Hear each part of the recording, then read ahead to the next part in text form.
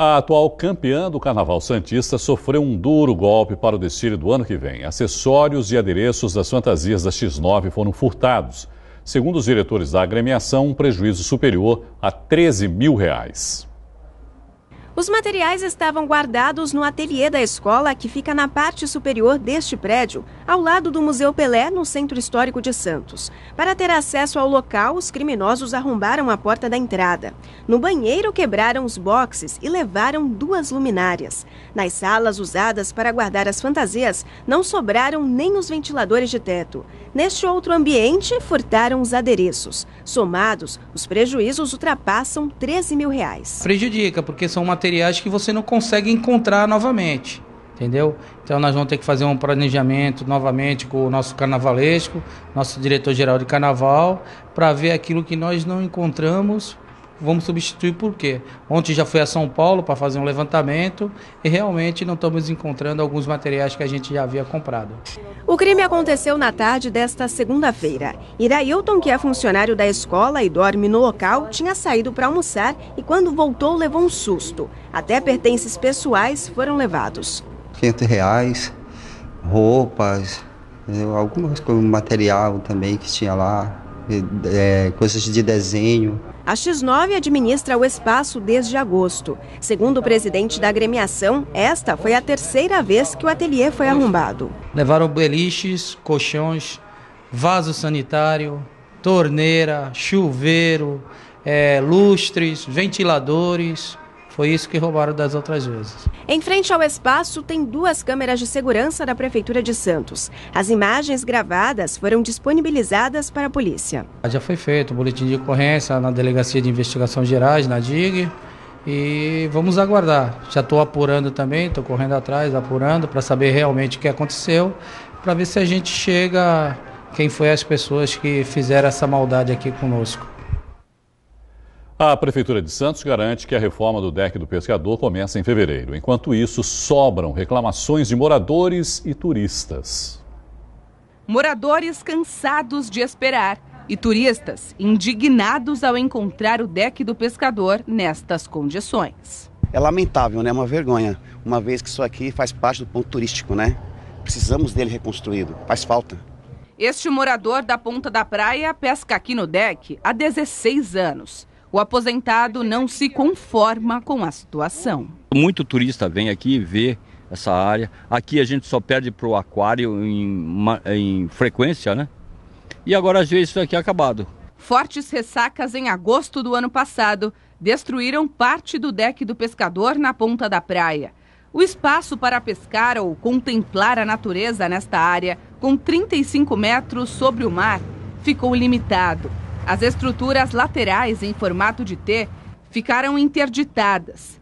Só depois de um ano e quatro meses, a Prefeitura anunciou o início da reforma. Já estamos na fase da classificação das empresas e a partir da semana que vem a gente vai abrir os envelopes de preço. A partir daí, tendo esses preços aos prazos recursais, mas acreditamos que a partir da primeira quinzena de janeiro a gente já tenha, já esteja elaborando já os contratos para finalmente reiniciar essa obra. Os frequentadores vão perder espaço com a reforma.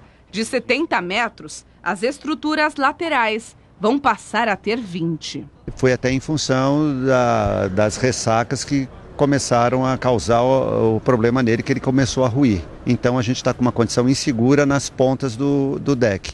A obra estimada em 1 milhão e 100 mil reais vai ser paga pelo governo do estado.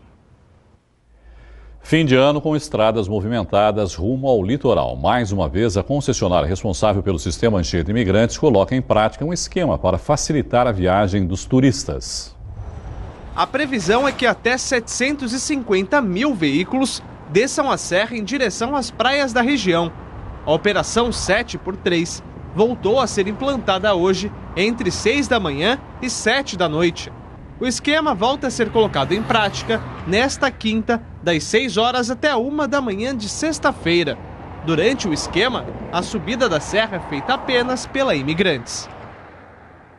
O IPVA vai ficar, em média, 3,2% mais barato no ano que vem. A informação é da Secretaria da Fazenda do Estado.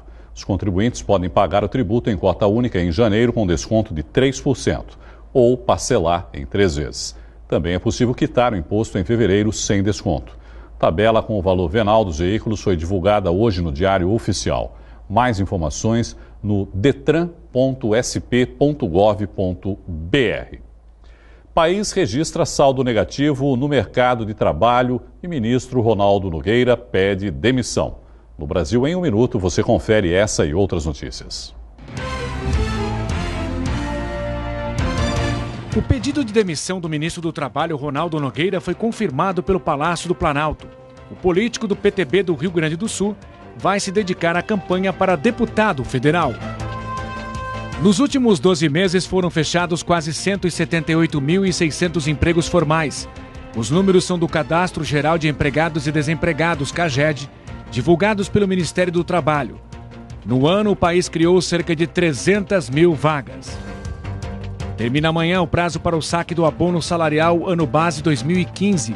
Quem trabalhou na iniciativa privada pode retirar o dinheiro em qualquer agência da Caixa Econômica Federal ou casa lotérica. Servidores públicos devem ir ao Banco do Brasil. A Mega Sena da Virada deverá pagar prêmio de 280 milhões de reais para quem acertar as seis dezenas. O sorteio vai ser às 8 da noite do dia 31. As apostas podem ser feitas nas lotéricas do país até às duas da tarde do mesmo dia.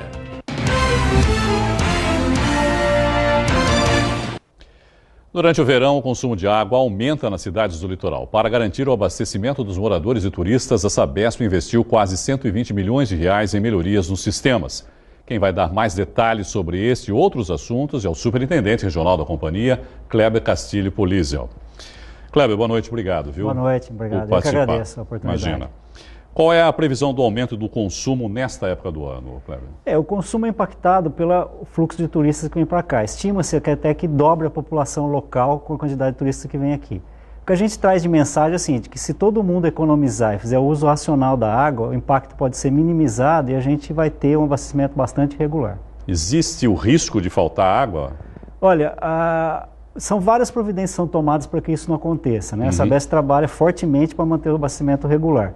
Mas o maior impacto que tem é o desperdício. Se não houver desperdício e uso racional, teremos um abastecimento bastante o regular. O consumidor ainda não tem essa, essa medida de, de economizar água, quer dizer, não tem esse raciocínio de que a água é um bem valioso e que precisa ser cuidado melhor, Cleber? Sim, o que a gente faz é, ter, é sempre é, levar essa mensagem para o nosso consumidor, né? dizer que a água é um bem realmente nobre, né? que deve ser usado com todo o cuidado possível né, e de forma racional né, para as atividades que são necessárias mesmo. Né.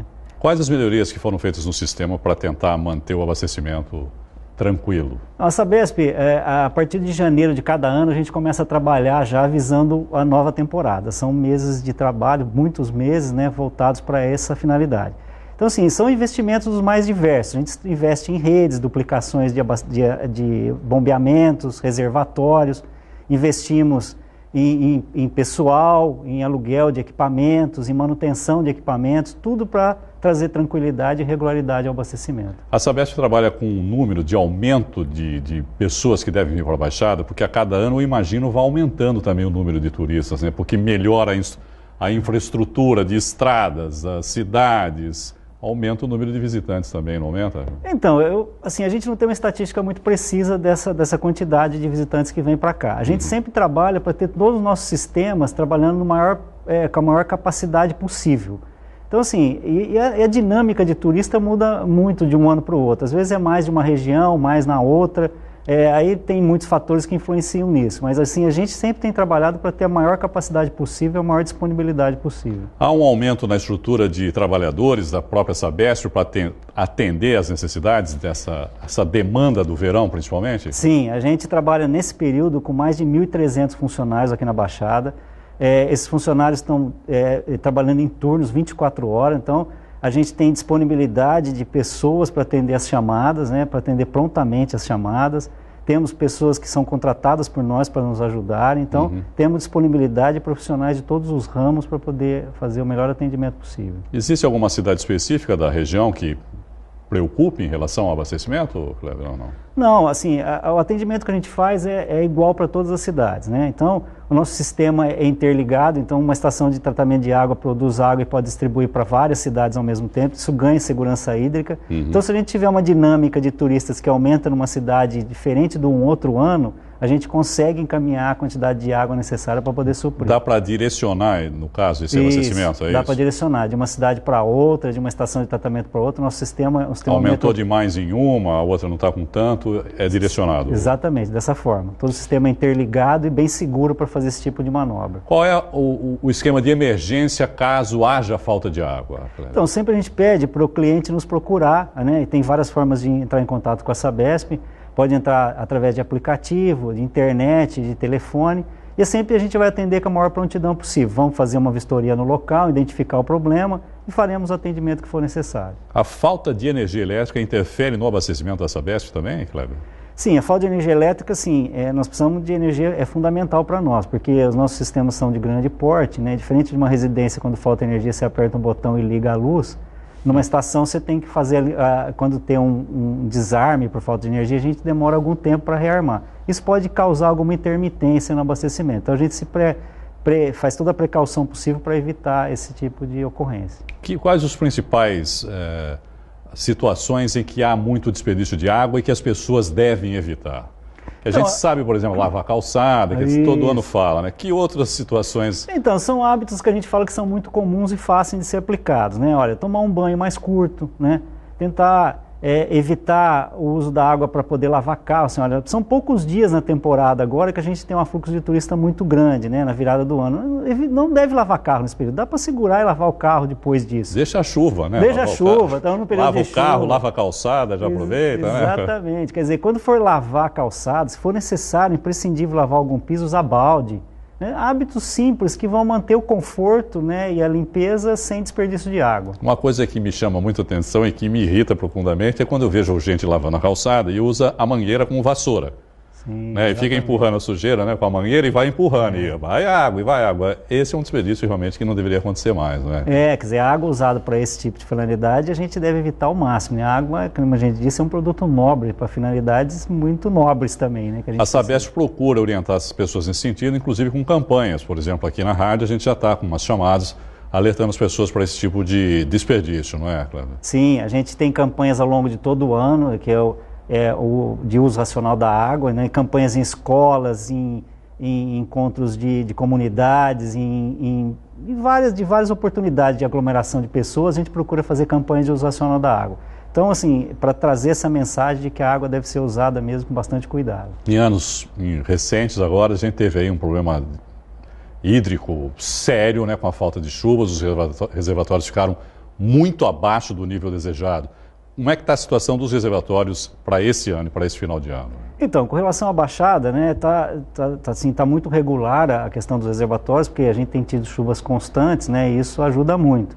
Mas de qualquer forma, é o seguinte, isso não compensa de maneira alguma qualquer desperdício. A gente tem sempre, mesmo tendo água disponível na, nas captações, as estações estão funcionando. Não importa, né? A não economia importa. continua sendo importante. Fundamental. A economia é fundamental. Quais são os, os mananciais que, que, que, servem aqui à Baixada Santista?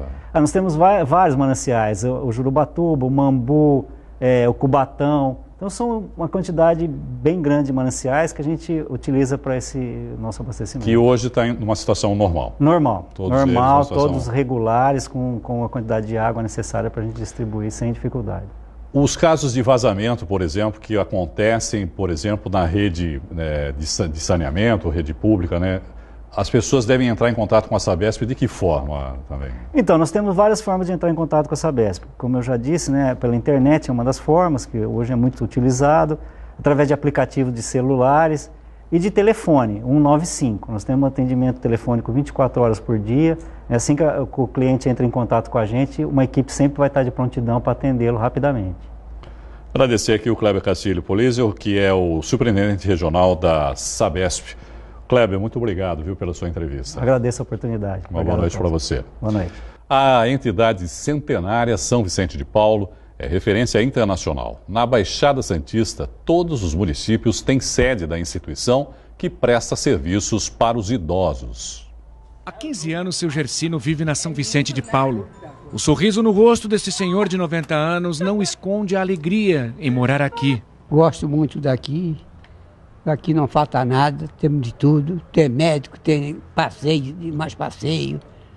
Não posso reclamar de nada. Dona Elzira, de 87 anos, está sempre animada. O radinho de pilha é o companheiro inseparável. Só esporte. No música não, só esporte, só negócio de esportes. O casarão de 1920 tem muita história para contar. Atualmente, a entidade São Vicente de Paulo abriga 28 idosos, mas já hospedou cerca de 200 de uma só vez. O lar faz parte de uma entidade internacional com sede em mais de 140 países. No Brasil, há mais de 700 mil vicentinos associados. Todas as cidades da Baixada Santista tem sede da instituição. E eles começaram com o trabalho de famílias carentes, ajudando com cestas básicas, que é o principal trabalho da São Vicente Paulo no mundo todo. E aí depois foram subindo os prédios aos poucos. Então a parte é, dos idosos é de 43, a igreja de 47, assim foram subindo os prédios. Em 123 anos, a Sociedade São Vicente de Paulo já atendeu mais de 3 mil idosos. Muitos sem condições de contribuir mensalmente. A entidade conta com a solidariedade para seguir de portas abertas. O material de higiene dos, que os idosos usam, é, como alimentação seria somente. O pessoal pensa muito em arroz e feijão quando faz uma doação, mas isso aí a gente tem até bastante.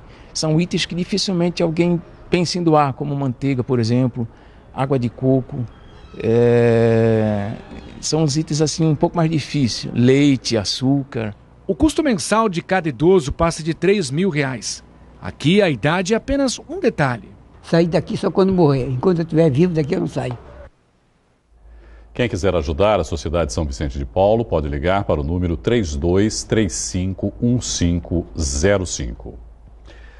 A atleta da Unisanta, Ana Marcela Cunha, tricampeã mundial de maratonas aquáticas, recebeu o segundo título de reconhecimento internacional.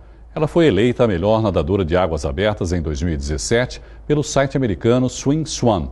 No início do mês, Ana Marcela foi premiada pela quarta vez como a melhor do mundo pela Federação Internacional de Natação. Carnaval 2018. Para quebrar um jejum de 12 anos sem título, a Sangue Jovem aposta em uma história nordestina em São Paulo. Ficou curioso? Acompanhe a reportagem da Jéssica Santos. Nos dias de chuva, a segunda escola mais nova do grupo especial promove os ensaios no Salão de Mármore da Vila Belmiro.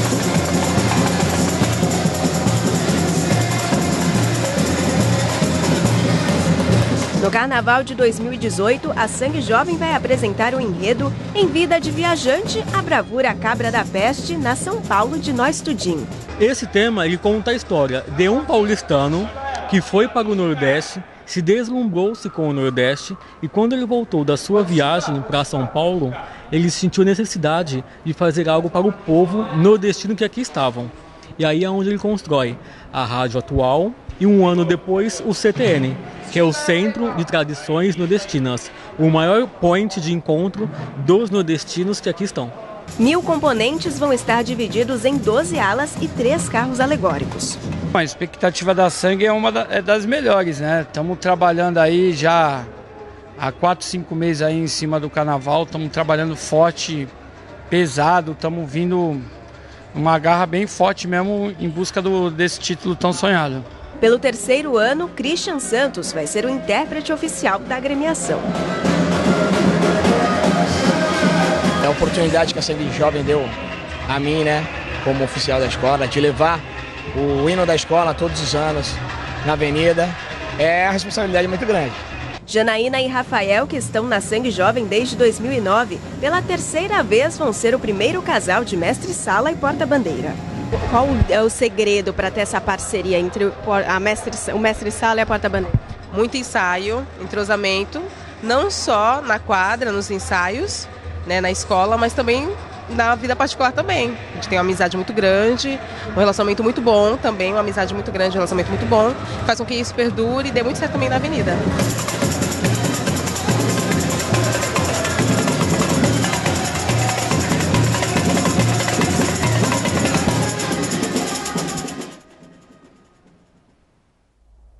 Sangue Jovem tem um título conquistado em 2006. Vai ser a quarta escola a entrar na passarela Drauzio da Cruz no dia 3 de fevereiro. Quando não chove, os ensaios acontecem todas as terças e quintas a partir das nove da noite na Rua Princesa Isabel, na Vila Belmiro. É só aparecer por lá. E a edição de hoje fica por aqui. No Santa Portal você encontra mais notícias de Santos e região. Uma boa noite para você e até amanhã. Tchau.